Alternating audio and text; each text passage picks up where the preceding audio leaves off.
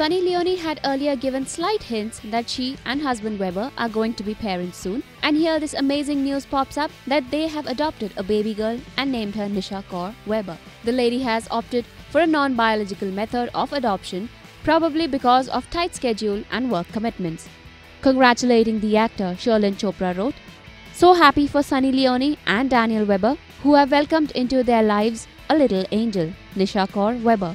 More love and more power to this adorable family. To which Sunny replied, Thank you so much, so sweet of you. Well, this indeed is an amazing news. Sunny and Daniel now join the newly turned parents group after Karan Johar, who became a single parent to twins Yash and Ruhi this year.